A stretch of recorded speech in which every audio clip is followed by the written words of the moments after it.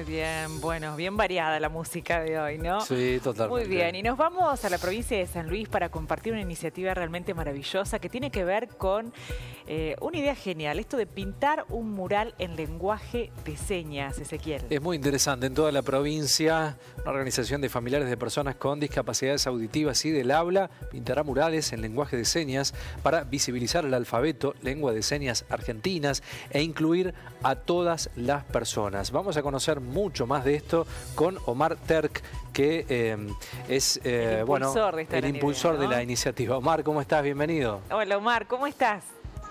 ¿Cómo les va? ¿Cómo andan? No sé si me alcanzan a escuchar bien. Sí, sí, sí, muy bien. te escuchamos bien, Omar. Bueno, contanos, porque bueno, ya tienen autorización para fijar murales en dos lugares, ¿no? Em, ¿En dónde sería? Efectivamente. A ver. Sí, efectivamente. Bueno, nosotros, yo pertenezco, soy socio fundador de una fundación, que es la Fundación Igualar, y bueno, estamos justamente trabajando en esta iniciativa eh, que nos parece una forma inclusiva, pero a la inversa. En este caso, nosotros, los que tenemos capacidades plenas, somos los que vamos a, digamos, eh, a inmiscuirnos, por decirlo, en el mundo justamente de los hipoacúsicos.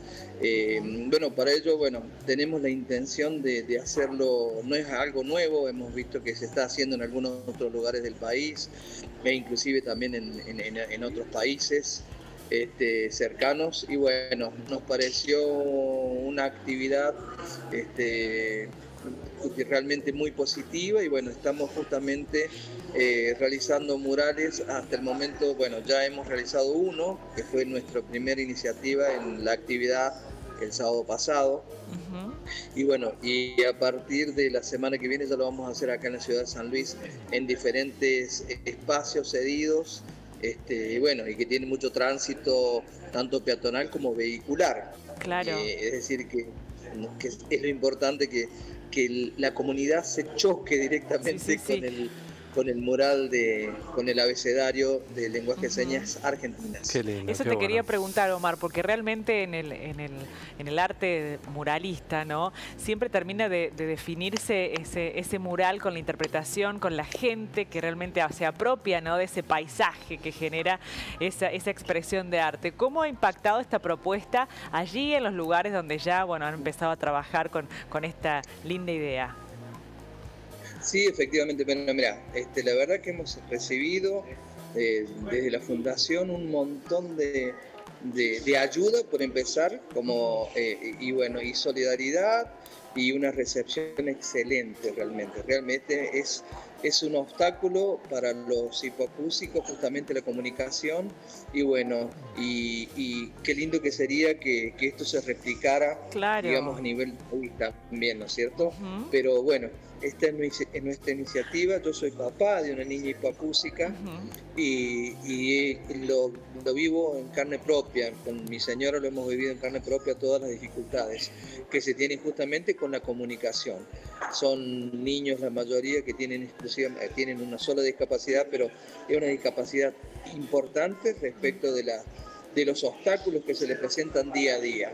Así que bueno, esta es una forma, como te decía, a la inversa de, tratar de superarlo eh, y nosotros incluirnos en el mundo de ellos. Claro, Omar, ¿y sería un mensaje en lengua de señas o el alfabeto en, lengua de señas? Es, es eh, prioritariamente lo que nosotros tratamos de mostrar es el alfabeto. Ajá. Pero eh, hemos visto, bueno, tenemos algunas paredes cedidas, eh, ya para, para, realizarlo y vamos a colocar también alguna, alguna frase eh, también que tiene que ver con toda la cuestión inclusiva. Este, depende del tamaño de la pared, porque bueno, lo más importante es que sea visible, digamos, el alfabeto en un primer momento y después si hay oportunidad lo hacemos también lo hacemos también este, con este, con algunas frases siempre teniendo en cuenta esta lo, inclusivo, digamos. Omar, eh, esta posibilidad de llegar a materializarlo eh, con todo lo que ha significado en la previa, ¿y ¿qué es lo que significa en lo personal para vos eh, tener la, posibilidad ya de, plasmar este trabajo que tanto han impulsado allí para que se desarrolle en la provincia? Bueno, en lo personal, por supuesto que una satisfacción muy importante Este, nosotros, bueno, en el primero que hicimos tuvimos la presencia, por supuesto, de varios chicos y amigos de mi, de, y o de mi niña que también son hipoacúsicos, y están súper entusiasmados y realmente eh, verle las, las caritas felices a ellos ya es suficiente, digamos. Pero bueno, eh, la fundación, bueno, es una fundación nueva que recién terminamos de inscribirla. Y, bueno, tiene como objetivo principal este, justamente el remover obstáculos para llegar a una igualdad. Eso sería el, objetivo principal. Pero, este, por supuesto que eh, hay un área de discapacidad que, este, bueno, surgió esta idea y nos prendimos todos en, poder hacerla. Hemos tenido, como te dije, una recepción este, muy importante en lo que es San Luis, inclusive también hasta de Villa Mercedes nos han, nos han hablado para, para poder ir a realizarla. Así que bueno, eh, estamos buscando que sea muy visible y que sea, eh, que sea perfecto, digamos, que sea un mural lo, más perfectible posible. qué por ahí, Por ahí un rebote nacional, pensaba Omar. Claro, en esto, esto que planteaba Omar al comienzo, que ojalá que, que, otras provincias, que otras fundaciones, bueno, puedan replicar esto que ustedes están haciendo en otros lugares de Argentina, ¿no? Y sería, este, sería, ya te digo, muy lindo este, que se replicara, como bien dicen ustedes, porque este, ya te digo, la, cara de felicidad de los chicos psicoacúsicos mm. cuando lo ven terminado es para no tiene no tiene precio realmente. Así que este, ojalá Dios quiera que se pueda replicar en otro en otros lugares. Claro que sí es una manera de incluir y de abrazar me imagino no por supuesto este eh, como te dije, nosotros como padres de hipoacúsicos, bueno, hemos visto todas las dificultades que tienen para llegar o poder valerse por sí mismos. Así que bueno, eh, es una iniciativa que bueno, que tiene sus, bemoles, este, todos positivos, digamos y ojalá que este, prenda, ojalá que prenda, como prendió acá en San Luis. Omar, el mundo trabaja con eh, lenguajes de señas en la inclusión, con los murales. Eh, ¿Qué países son pioneros, están adelante de este trabajo de la pintura de murales en lenguaje de señas? Sí, a nosotros nos llamó mucho la atención en México, por ejemplo, eh, pero también hemos visto en, en España, eh, son los dos países que, que, nosotros vimos de, que, se han hecho murales. E inclusive eh, uno en España que es un tamaño muy, muy importante. Así que eh, fueron los dos principales. Y después acá, por ejemplo, en Argentina, en FIRMAT hay una asociación también de, de músicos que ha que ha realizado la, que, la ha realizado. Y bueno, a partir de eso, bueno, nos prendió la idea y bueno, estamos, estamos muy entusiasmados.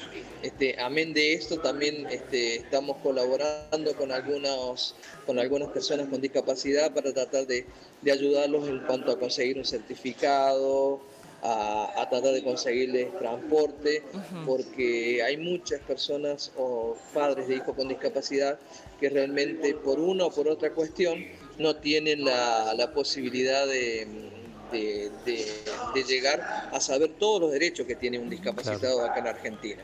Así que bueno, estamos también, este es otro de las, de las actividades que estamos realizando, tratar de ayudar a, que realmente los discapacitados les lleguen todos, todos los, los derechos que tienen.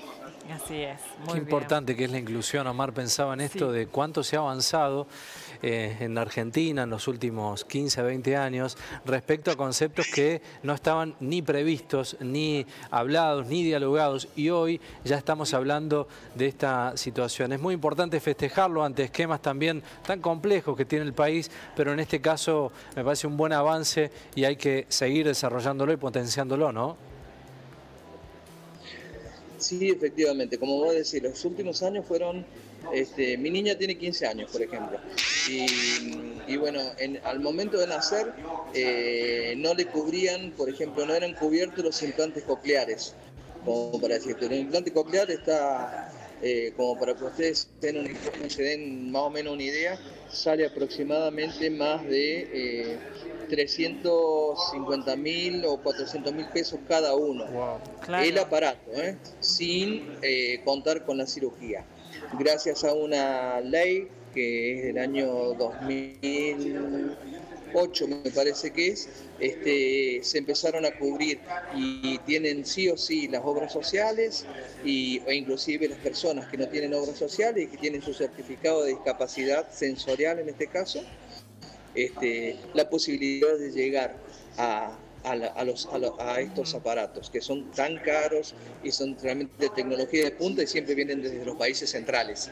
Así que, este, bueno, hay muchos papás que no saben y realmente cómo les cambia la vida a una persona con discapacidad sensorial y auditiva el tener eso, porque bueno, mi hija lamentablemente no lo recibió cuando chica y no va a poder hablar, pero sin embargo ella puede escuchar música, ella puede escuchar el sonido de un, de un auto que le toca bocina, este, y aunque esas cosas a nosotros nos parecen algo tan simple, para ellos es un cambio total de la vida que llevaban. bien, Qué valioso el trabajo que realizan desde la Fundación Omar. La verdad que ha sido un gusto conocerte y bueno, seguiremos en contacto a ver cómo marchan esos murales allí en San Luis. Les mandamos un abrazo. Muchas gracias, Omar. No, muchísimas gracias a ustedes por justamente por la difusión de, estas actividades y Dios quiera que prendan en todo el país. Ojalá. Un abrazo enorme para todos. Ojalá. Abrazo, Omar. Gracias, buen fin de